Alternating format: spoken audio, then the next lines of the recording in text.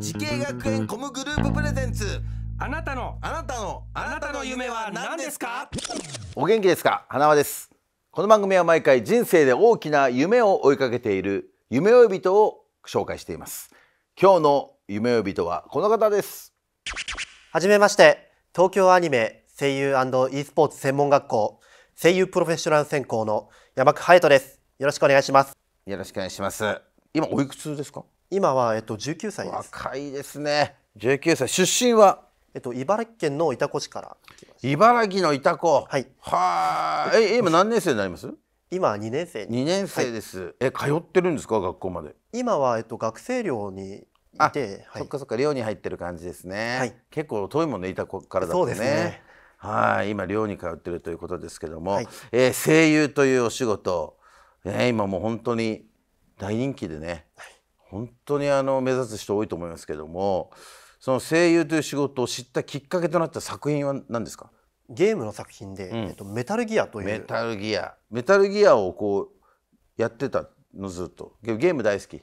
はいゲーム大好きで。んえーでもいろんな声優さんいると思いますけど、はい。好きな声優さんとかいるんですか？好きな声優さん、あのうん。メタルギアうん。のそのスネークの声を担当してる、えっと、大塚明夫さんといううん。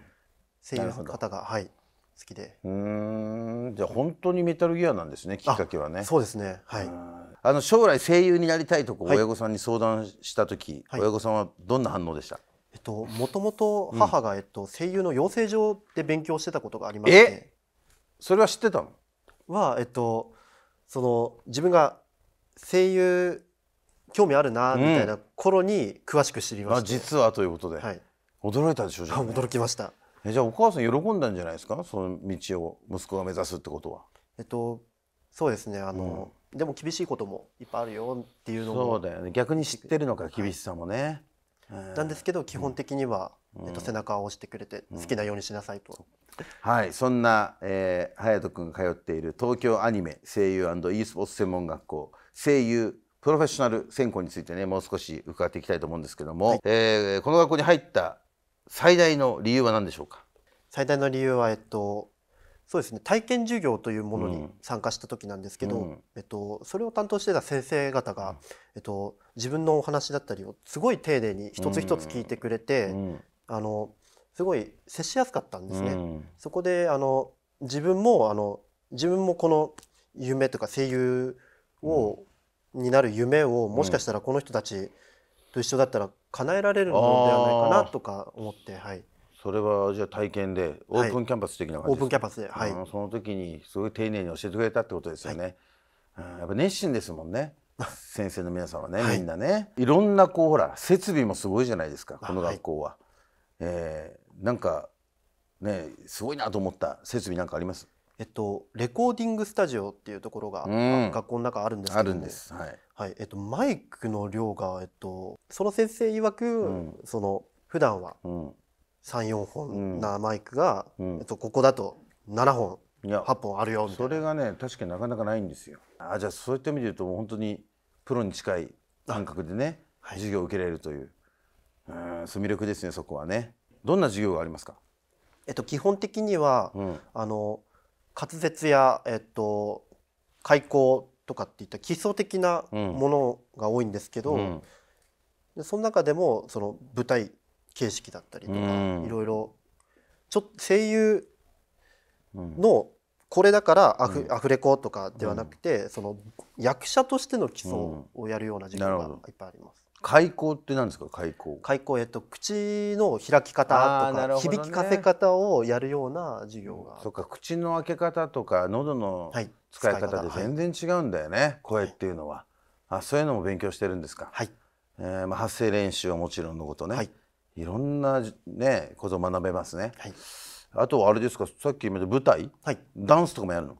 あとダンスやります。ダンス？はい。ダンスとか舞台とかもね全然声優とは関係ないようで実はとってもはい。関係が深いという、はい、そうですね。うん。えっとい今やっぱその声だけでやっていくっていうのはなかなか厳しいとうんいうことなので、うん。やっぱそのマルチにうん。その喋れて踊れて歌えて、うん。それでし声のせなんていうんですか、活動もできるみたいな、マルチさを求められて。はあすごいよね。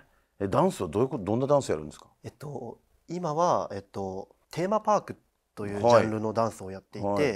えっとテーマパークってあのうん。遊園地とかでうん。のショーとかでやるようなダンスをはい。今やっていて、へえあそういう授業もでやるんだ、はいプロの皆様に教わるというような授業もあるんですか、はいあります。うん。えっとその台本のえっとやっぱ基礎の基礎ですけど読み方だったりっうん。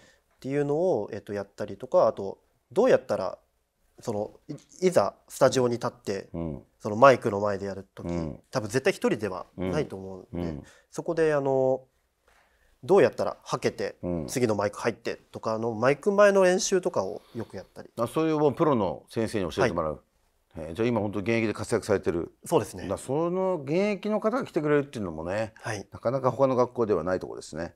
ありがたいです、ね勉強になりますよね、はい。えじゃあアフレコの経験もあるんですか？もうすでに、そうですね、うん。はい。なんかその感情もいろいろあると思うんですけどはい。どうですか？い怒りのシーン、ちょっと笑いのシーン。どっちが難しいですか？えっとどっちも難しいっていうあれなんですけど、どちらかというと怒りのシーンがあとても。ー例えば今できます？怒りの。今アドリブでいいんで。はい。えー、そうですね。じゃあ何に対して怒りますかね？じゃあ茨城ですね。茨城。茨茨城がはい。茨城なのに茨城ぎっていうね濁音をつけるやつがいるんですよ。そいつに対してちょっと怒りましょうよじゃあちょっと。はい。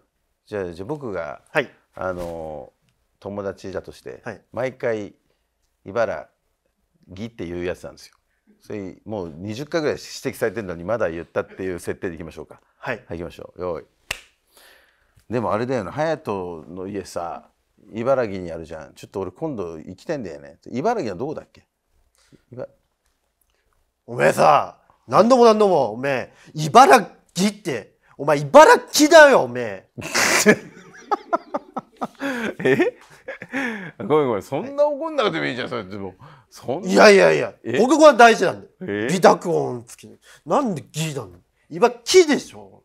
いやそう毎回そう怒るけどそんな大事なのそこ。大事だよ。大事なの？毎回あれだよな。茨城の話になると。あ茨城ど木だよ木。茨城の話になるとすげえなまるよななおめえ。え？そりゃ血が騒ぐから茨城の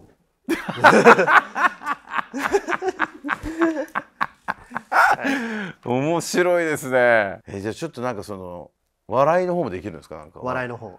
笑いの方で。じゃあそうですよ。僕がほら、はい。あのー大爆笑を毎回撮ってる松井秀喜の真似があるんですよ。ね、それを初見で見てめちゃくちゃあのー笑って桜で笑ってくれてるっていう。あ。うん。はい。ね、いいですか？はいリアルなやつですよ。リアル初見でもし僕の松井の真似を見た時の、はいっていうことですね。はい、それではいきます。はいちょっとさ、隼人君さ、俺さ、松井秀喜が大好きで、松井さんのモノマネをできるようになったんだけど、見てもらっていい？あはい全然いきますよ。はい。うん。はい。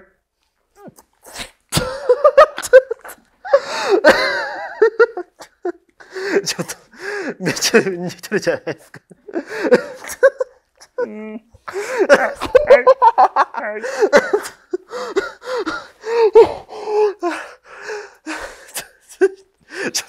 本当に笑ってるそれ。待ってますよいいですね。面白いね、隼人君は。ありがとうございます、うん、ね。好きな授業ありますか？好きな授業、うんえっとアクションアクションンは、はいえ、どういうことを勉強するんですか？アクションっていうのは。アクションはえっとその今2.5次元舞台とかあったりするじゃないですかいろいろありますね。あのヒーローショーとかのはいはいはい。とかのあのアクション盾みたいな感じ。そうですね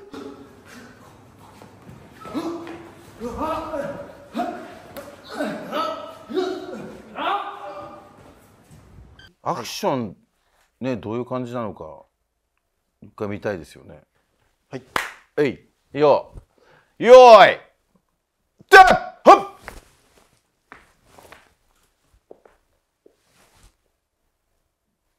松井です。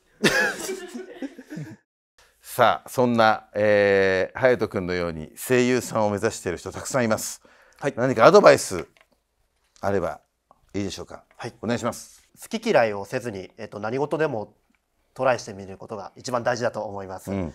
今日やらないよりも一やるという精神で、えっと、頑張っていってほしいですはいありがとうございます。